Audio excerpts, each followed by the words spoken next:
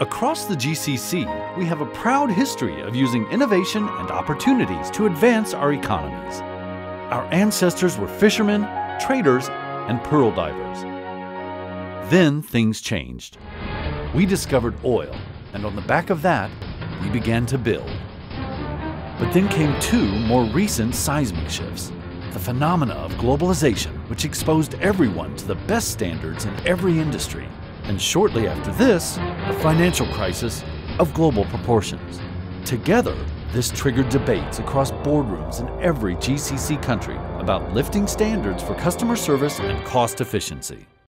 We at Emirates NBD were always looking at uh, bringing efficiencies and improving the service levels. I think the financial institutions were going through the challenges of uh, increasing the volumes and the customer expectations was growing. And uh, a company like uh, Tanfeeth or a BPO was uh, one of the considerations or the options for improving that efficiencies. Now, at that time, we had two options. Either we go and offshore our uh, operations to some of the existing BPO or establish a BPO within the country onshore. And we decided to go onshore because it has more of a local appetite to understand the challenges of the businesses. The one thing that we noticed in the UAE is that service element, you actually have a gap that we noticed that that's the niche that we want to play in. Yes, we can do it anywhere in the world, which is much cheaper. But why in the UAE? There was a demand, and our demand was our customers were asking for more. The challenge was actually executing and maintaining that sustainable uh, customer service. And if I look at the early days of Tanfeeth, it was a small idea. We could have piloted it in the bank, but unfortunately in the bank, it didn't uh, fulfill our greater need. So we decided to separate Tanfeeth as a spin-off company. Tanfeeth got to work with McKinsey to make it happen. For us today, Tanfeeth is a global showcase of service excellence and operational excellence. And it has been a privilege for us at McKinsey & Company to have been part of the Tanfeeth journey ever since the conceptualization and the detailed design of Tanfeeth, in its implementation and today in its ongoing support. For us, Tanfeeth has never been and will never be a project. It is to us a partnership and we feel fully responsible for its success on an ongoing basis. So, what did it take to build Tanfeeth?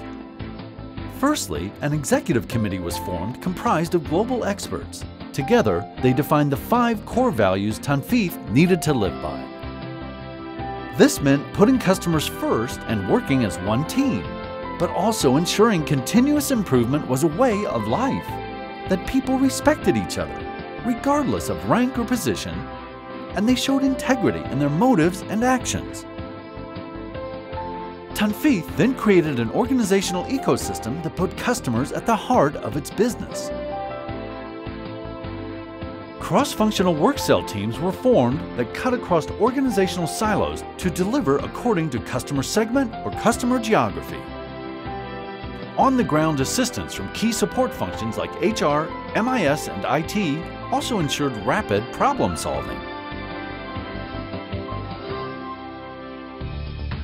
A lean operating model was established to foster the culture and performance levels Tanfeeth aspired to.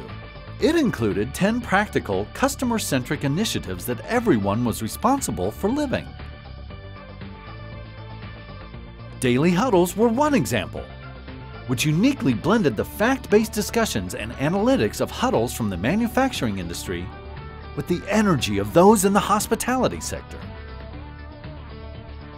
Then, there was the ground-up innovation engine known as root cause problem solving, which empowered employees to solve customer issues on the spot.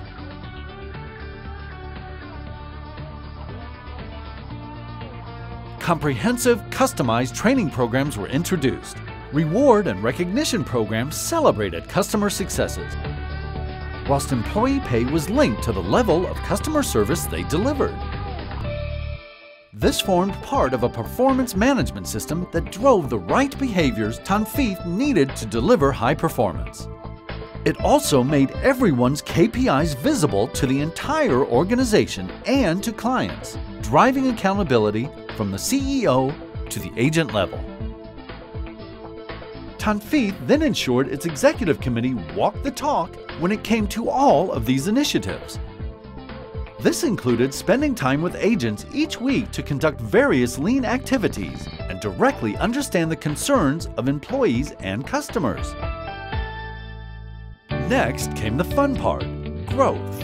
After just two years, Tanfeeth had absorbed all of Emirates NBD's back office and hit 2,000 employees. With the market increasingly recognizing its track record for improving service quality, productivity, efficiency, risk, and employee engagement.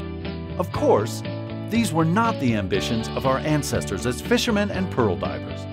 But like the monumental developments in the region, Tanfeeth's journey has been fast, exhilarating, and impressive, and certainly the best is yet to come.